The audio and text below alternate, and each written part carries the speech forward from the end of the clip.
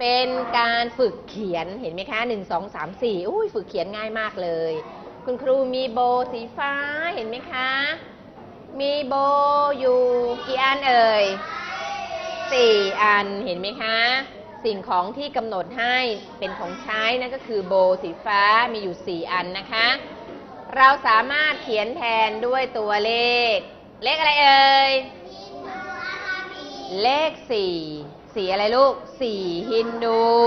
อาราบิกไหนใครเขียนเลขสี่ฮินดูอาราบิกได้ บางคนเขียนไม่สวยนะ เพราะนั้นต้องเขียนให้สวยด้วย ต่อไปค่ะต่อไป เขียนแทนด้วยเลขอะไรเอ่ยเลขสี่ไทย มีหัวไหมลูก เลขสี่ไทยมีหัวไหม มีหัวกลมๆด้วยนะคะ แล้วก็เขียนแทนด้วยตัวหนังสือ อ้าวไหนลองฝึกอ่านสะกดคำพร้อม ๆ กันค่ะ อ้าวนักเรียนหญิงเรียนชาย โอ้โห เห็นฟันหลอเลยนะคะ บางคนไม่มีฟันเลยค่ะ แต่ว่า โอ้โห มั่นใจเต็มที่นะคะ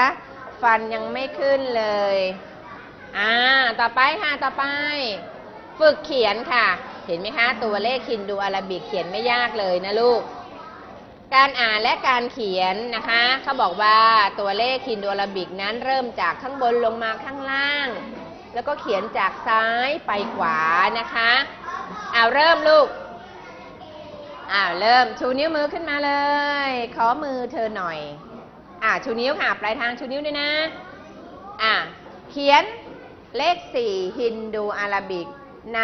อากาศ อากาศอยู่รอบๆตัวเรามองไม่เห็นนะ เอาละค่ะ เริ่มเลย เริ่มเลยนะสี่ฝรั่งหวังใจเขียนได้แน่ เด็กๆเขียนได้แน่นอนเลยนะคะ เริ่มตั้งแต่ขีดลงล่างย่างไปขวา อ้าวขีดลงเป็นเส้นตรงหรือเส้นเฉียงดูให้ดี เส้นอะไรเอ่ย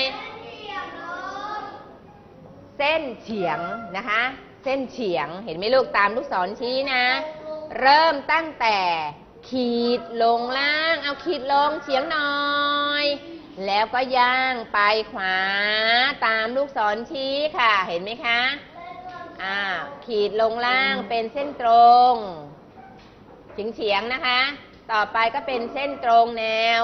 นอนอ่าต่อไปทำไงต่อ ยกดินสอเริ่มใหม่ไม่รอรา ลากเส้นมาตัดอีกทีเป็นสี เอ้ย เห็นไหม ยากไหมลูก ไม่ยาก อ่า เดี๋ยวจะให้ออกมาเขียนนะอ้าวเริ่มเริ่มใหม่เริ่มใหม่อ้าวเลขสี่เริ่มตั้งแต่ ข้างบนค่ะ เส้นเฉียงเป็นเส้นเฉียงนะลูก เฉียงนะเอาเฉียงลงมาจากบนลงล่าง แล้วก็ลากจากซ้ายไป ขวา ยกดินสอขึ้นมานิดนึง เริ่มใหม่ไม่รอลา ลากเส้นมา ตัดอีกที ตัดน้อย ตัดน้อย ตัดอีกทีเป็นสี่เอ่ยยากไหมลูก ไม่ยาก ไหนใครเขียนได้แล้ว โอ้โห เดี๋ยวให้น้องอะไรนะ ต้นหอมใช่ไหมลูก เอาข้าวหอมข้าวหอม เอาข้าวหอมมาหน่อย ไหนข้าวหอมลองเขียนดูสิลูก อ่า ลองดูนะคะ น้องข้าวหอมลองดูนะลูก อ่าลองดูสิ อ่าแสดงฝีมือหน่อย เริ่มจากเอาใหม่เอาใหม่ เขียนตัวโตๆนิดหนึ่งค่ะ เส้นเฉียงอ่าเฉียง แล้วก็ลากจากขวาไปซ้าย แล้วก็เส้นตรงตัดลงมา ถูกไหมคะ ถูกไหมโอ้โห เขียนสวยด้วยค่ะ ปรบมือให้กับเพื่อนของเราน้องอะไรเอ่ยน้องข้าวหอมนะคะข้าวหอมมะลิค่ะหอมหอมเอาละเอาละเอาละ ต่อไปเป็นเลขไทยกันบ้างนะคะ เลขไทยมีหัวไหมเลขสีไทยมีหัวไหมมีหัวนะคะกลมๆเลย การเขียนและการอ่านตัวเลข ก็ไม่ยากนะคะ ส่วนใหญ่เลขไทยนั้นก็จะมีหัวเด็กๆ ต้องเริ่มเขียนจากอะไรก่อนลูก จากหัวกลมๆกันก่อนนะคะ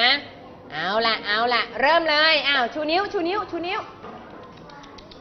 นิ้วอยู่ไหน นิ้วอยู่ไหน ขอหน่อย ขอหน่อยโหเยี่ยมมากเลย เริ่มจากการม้วนอะไรก่อนลูกอ้าวเลขสีไทยไม่ยากหากจะเขียนเห็นไหมลูก เริ่มหัวกลมอ้าวหัวกลมกลม ผมเกลียน แล้วเวียนเวียนทางไหนเอ่ยม้วนหัวกลมกลม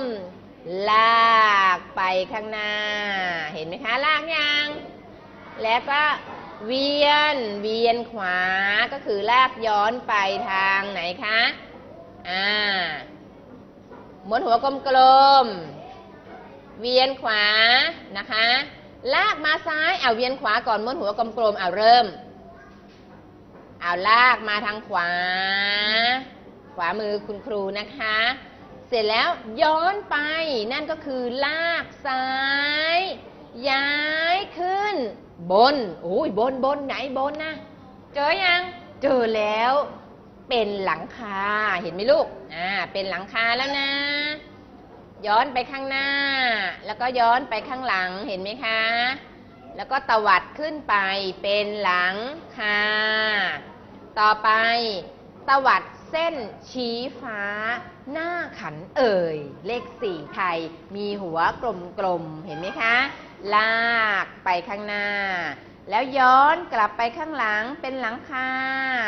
หางตวัดขึ้นที่ไหนลูก ขึ้นฟ้าเลย หน้าขันเอ่ย ตลกไหมเลขสี่ไทยตลกไหม ไม่ตลกนะคะ ไม่ตลกค่ะ อ้าว ดูเลย เห็นไหมคะ อีกครั้งหนึ่งอ้าวม้วนหัวกลมๆลูก ห้องนี้เก่งนะ เยี่ยมมากเลย อ่าม้วนหัวกลมๆ กลมยังกลมยังถ้าไม่กลมลบลบลบลบหน่อยอ้าวเสร็จแล้วก็ไปข้างหน้า เห็นไหมคะ แล้วก็ย้อนไปข้างหลังหน่อยเอาเอาเอาช่วยกันช่วยกันช่วยกัน ย้อนไปข้างหลัง เป็นหลังคามีหางตวัดขึ้นไป ชี้บนฟ้าเห็นไหมคะ ยากไหมลูก ให้เด็กๆดูตามลูกศรชี้นำนะคะ บางคนเคยเรียนมาแล้วตั้งแต่อนุบาล 1 ก็เรียนอนุบาล 2 ก็เรียนอนุบาล 3 ก็เรียนป .1 เรียนอีก อย่าเพิ่งเบื่อนะคะอ้าวขอตัวแทนค่ะ ออกมาเขียนเลข4ไทยนะคะอ้าวเลข4ไทย เริ่มจากหัวกลมๆเขียนให้สวยลูกเอาม่เอาใหม่เขียนอีก เขียนให้สวยเลย หัวกลมๆอ่า เขียนหม่หัวกลมๆ ลากให้สวยเลยค่ะ ลากให้สวยเลยนะคะ เอาละค่ะ ม้วนหัวกลมๆ เขียนให้สวยเลยนะคะ เลขสี่ไทย เราต้องภูมิใจในความเป็นคนไทย และเราก็มีเลขไทยที่ใช้ตั้งแต่สมัยพ่อขุนรามคำแหงมหาราชนะคะ เอาละค่ะอัปรบมือให้เพื่อนของเราค่ะ สวยไม่สวยเดี๋ยวก็ต้องไปฝึกลีลามือกันนะคะ ต่อไปค่ะตัวหนังสืออ้าวฝึกอ่านสะกดคำหน่อย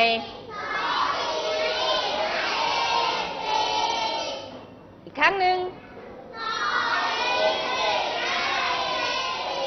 สออีสีไม้เอกสี่เห็นไหมคะสอเสือสระอี แล้วก็มีวรรณยุกต์เอก อ่านว่า สี่นะคะ เวลาสะกดก็คือสออีสีไม่เอกสี่อะต่อไปต่อไปต่อไปโอ้โหเส้นจำนวนมาอีกแล้ว สงสารเจ้ากบเคโลเหลือเกิน วันนี้เริ่มกระโดดตั้งแต่อะไรเอ่ยศูนย์ศูนย์ไปไหนลูกศูนย์ไปหนึ่งอะช่วยหน่อยหนึ่งไป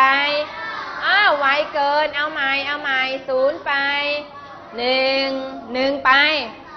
เป็นการนับเพิ่มสองไป สามจากสามไปสี่โอ้โห กระโดดอย่างรวดเร็วนะคะ แต่ก็ยังช้า เพราะว่ากระโดดมาหลายวันแล้วใช่ไหม ตั้งแต่ศูนย์ไปหาหนึ่งหนึ่งไปหาสองสองไปหาสามสามก็ไปหาเลขสี่เหนื่อยไหมคะ ไม่เหนื่อยนะคะ เด็กๆ บอกว่า ไม่เหนื่อยอะไม่เหนื่อยแล้วทำยังไงล่ะ อ้าวพัดลม พัดลม อุ้ยร้อนร้อน ร้อนจุงเบย บางคนโอ้โหร้อนจังคุณครูทำไงดีล่ะ พัดลมมาแล้วจ้ะแฟนมาแล้วแฟนเห็นไหมคะ F A N แฟน แปลว่าอะไร พัดลมค่ะ เอาละเอาละเอาอ่านพร้อมกันหนึ่งสองสามอ่ากลุ่มที่สองอ่านค่ะ กลุ่มที่หนึ่งและปลายทางอ่านค่ะ โอ้โห เยี่ยมมากเลย ขอคารวะจริง ๆ เลยนะคะ วันนี้ตั้งอกตั้งใจเรียนกันเป็นพิเศษเลย น่ารักมาก และปลายทางละลูก เยี่ยมนะคะ ต่อไปต่อไปภาพนี้อ่ามาแล้ว ภาพอะไรเอ่ยอ่ากลุ่มที่สองอ่านค่ะ กลุ่มที่หนึ่งอ่านพร้อมกันค่ะอะ ปรบมือให้ตัวเองหน่อยอ่าเดี๋ยวมีรางวัลให้นะคะ เยี่ยมสุดๆเลย ต่อไปต่อไป โอ้โห ภาพนี้ภาพอะไรคะส้มโอนครชัยศรีค่ะ อ้าวเริ่มเริ่มเริ่ม กลุ่มที่สองอ่านค่ะ เอาใหม่หนึ่งสองสาม